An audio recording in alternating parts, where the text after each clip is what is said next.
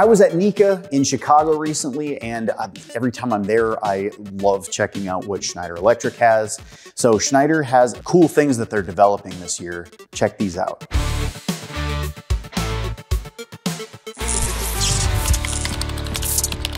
Mr. Hunter, it's so nice to meet you. Yeah, good to meet you too. We're at NECA. You guys always have like the best of everything. So I'm just here. I see this in front of me. What is the big important thing that you want the world to know Yeah. about this? Yeah, so this is our integrated power center. It's really centered around uh, the installation of low voltage panel boards and transformers at the end of the day.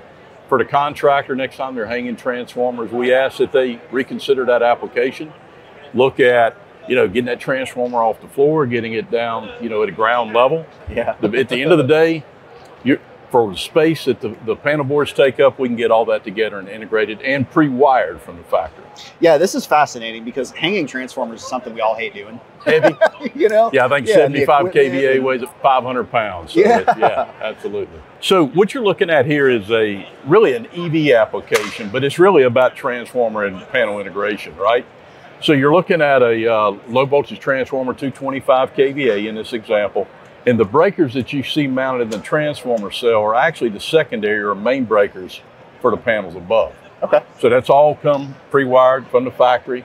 Imagine this product with you know two pole 60s in it, sitting in a parking deck somewhere, feeding downstream level two EV charging applications. Yeah. But it could easily be a, just a low voltage 75 kVA transformer, uh, 480 volt panel, uh, 208 volt panel, all pre-wired from the factory. So it's it seems rather customizable then. If It I is. needed to swap a transformer, I could do that. Yep. Um, what about the actual panel boards themselves? Is that very customizable or are you kind of set with certain uh, panel boards? So one of the biggest questions we get from consultants in the industry is, this looks special, it's probably unique, and the answer is absolutely no. These are the same Okay. transformers that you would go buy at an electrical distributor, same panel boards, breakers, everything is consistent, standard. Okay. So for example, if you had a 75 kVA transformer that you had some issue with it, you could literally go down to a distributor and buy 75 kVA. As long as it's like for like swap, it will literally slide in and bolt into place. Wow. And you're doing it on the ground rather than having to Uh, fight that 100%. area. Yeah. Okay. So the plexiglass, Yeah. Is this just for? Yeah, It is. Okay, I It was is. like, that does not seem It is. And the LED lights too. How customizable is it though? Like if I want a certain a number of spaces in my panel board, Yeah. does it just come with what it comes with, or can I spec things? No, 100%. You send us a electrical one line panel schedules. That's what you're going to get back that type of uh, build out in the panel board yourself. Right, So if you've okay. got a two pole 20 amp breaker here, that's what that's where it'll be. Is there anything internally that we need to know about? Like, is there any like maybe open this up and kind of see? Yeah, you absolutely can. You know, when you think about electrical installation, this this traditionally you can't stack panels above a transformer. So inherently that configuration spreads out. We think on average for two panels and a transformer it's about 80 to 90 inches of wall space. Wow, Well, yeah. because these Sure. panels are front aligned yeah. based off a bracket, now we're in a 42 inch structure. Oh, So we're damn. saving I didn't space. even think about Yeah, that. That's yeah. wild. Yeah, yeah. So it really does help with the footprint. We save on average about two thirds of wall space tr- as, as you would in traditional installation. I was wondering because it doesn't. This is deeper than the back of this cavity. So That's right. Yeah, if you look at it from the side, this is a 24 inch deep structure. is there any utilization for the back, or is it all ventilation space? All ventilation. So ambient air pulls in, heat chimneys behind the panel boards and out Ah, and vents out. Cool. Cool. Thank you so much. That's Awesome. really all I got. Absolutely. really absolutely. Thomas, nice to meet you. I'm Dustin. Nice to meet you, Dustin. What do we have here? What's what is this crazy guy in front of us? Uh, this is our mini power zone. It's a low voltage unit substation Okay. listed to UL 1062.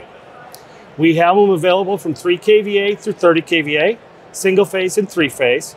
It's an integrated solution that allows you to have a small amount of power quickly installed because it comes pre-assembled from the factory. Okay. The device has a transformer that converts 480 to 208Y120 if it's three phase. All right. 120 240 if it's single phase. We are just launching a 480Y 277 option as well. And is it all under 30 kVA? All under 30 kVA. Okay, so this is what a five. This is a 5 Five. kVA as an Okay. example. There's three physical sizes. There's the 3 through the 10 kVA single phase. There's the 15 through the 25 kVA single phase, and then there's the 15 through 30 kVA three phase. So there's physically three different dimensional sizes for the devices. Okay, and then this has a panel board inside of it, right? So it's stacking a transformer.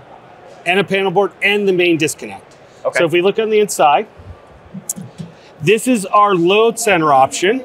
Okay. We also have the option for the NQ interior. Oh, And the 480 uses our NF interior. okay. So the NQ load center only takes on the plug-in breakers. The load center or the QO center takes both plug-on or bolt-on breakers. Great. And then the NF will take the E-frame breaker for the distribution. Okay. And you got this blocking. So this is a secondary barrier. Okay. It barriers off the H-frame breaker. We always use the H-frame breaker on the entire product line. You can obtain the H-frame at three AIC levels. Okay. You can get the standard 18 AIC, you can get the 25 AIC, or you can get the 65 AIC Awesome. uh, as options when we sell it with the QO exterior. So, So you, would the- you spec everything that you want prior to getting one of these? Uh, you could spec it as advanced, or we normally see that we want a unit substation or a mini power zone or a power zone center. Those are some of the brands or names that you hear in the industry. Okay. Um, How heavy is this? I just imagine so um, the transformers where all the weight is. for sure. Uh, the device can be separated with bolts on the back if you want to mount the transformer first. Okay, you would cool. have to disconnect it. Uh, there is no transformer in here today, so we've removed 70 pounds from the All right. display. uh, the transformer is embedded in sand and resin, so it's a resin encapsulated transformer. Oh, wow. So specifically designed for outdoor applications. Okay. We do offer it in a complete stainless steel enclosure. So if you have a corrosive environment, we can offer it as a type 3X application. So Okay. it comes standard as 3R, but it's also available in stainless steel, which would meet a 3X application. So 3R, but corrosive resistant. So are these only designed to be outdoors, or you're just giving it that 3R so that no matter where you use it, you're good? We just designed it as 3R, and then you can place it wherever you want. Okay. Uh, some of the applications we see it is a guardhouse in front of a large uh, uh, commercial property. They can pull two legs of 480 out to the guardhouse. They can hang this on the side because they're going to want 120, 240 in the guardhouse. So they get to save one conductor. They don't have to pull all the way. Conductor is smaller because you're pulling Yeah. at 480 instead of 240, 120. It's a service entrance rated, so it becomes service entrance rated there at the facility. Draw of your new ground rod, and now you've got 240, 120 at your building Oh, that's outstanding. uh, uh, at the end of your driveway. Yeah, and it's all you know on the same plane, so you don't have to worry about transformer below not being able to put the panel. Like Yep. that's really clean. I like that. All right, Victor. So we've got a 300 series transfer switch. Um, what do people need to know about this this year? Yeah, so we actually just launched a brand new feature on it called predictive outage detection. We're trying to advance the type of sensing switches can do to minimize downtime. Okay. So we started thinking to ourselves, what can we do if maybe we can predict the power failure before it happens Whoa. and take action on that? So I'm sure you've been in your house before and you've seen the lights flickering Yeah. during a storm and you're Yeah. like, oh man, I think power might go out soon, right? Yeah. And we kind of built off that concept. So transfer switches normally when power fails takes a little bit of time to recognize the failure and then transfers the way it just did, right? Yeah. To avoid any nuisance transfers and stuff like that. But the problem with that is that if you have a transient, like a flickering or something like that, it doesn't transfer. It just goes back and forth, and that could be a sign of a, a power failure coming because you know wind blowing the lines or something. Yeah. Or that can damage the loads itself, right? So what can we do to eliminate that? So we added a feature to our controller that I'll turn on now. Go to settings, features, predictive outage detection, and I'll turn that on. And now, when that flickering is on, you can actually configure it so that it can either go ahead and start the generator and keep it on hot standby so you don't have to wait for the gen to start, which minimizes downtime, or just go ahead and transfer over. So it protects the loads from being exposed to that flickering that could damage things like compressors and whatnot. Okay. Uh, and it's potentially avoiding the outage altogether, not just protecting them. That's So- really great. Well, thank you so much, man. No problem. Thank you. Yeah. So, what is this guy right here with all of these crazy, sensors or leads? What is this? Uh, this is a factory option from Schneider Electric. It monitors your connection points inside the transformers. So each Okay. of these thermocouples will go to the four secondary connection points and then the six primary connection points. Okay. There are the three that are made by the contractor, but we also ship three tap connections. So we're going to monitor those tap connections as well as the three connection points that are made by the contractor. Okay. The contractor might move those taps, so this will be connected to that tap wire. So if they do move it, it will still be monitored if they choose to use the tap. So it's a way to monitor thermal activity at actual terminations inside of a transformer. That is correct, and it continuously monitors it. Okay. So it's going to continuously monitor it. You get to set the temperature that you want the alarm to occur. Since Okay. it's a 90 degree C lug, most people are setting it just below 90 degrees C. When it does overheat, this green light becomes a red and it Okay. becomes flashing.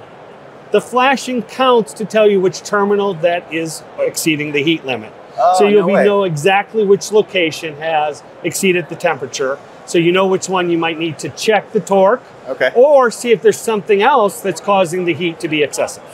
So how does this mount then? Is this something that can go anywhere or does it have to go on the transformer? So since it's a factory only option, we mount it on the right top of the device when we ship it from the factory.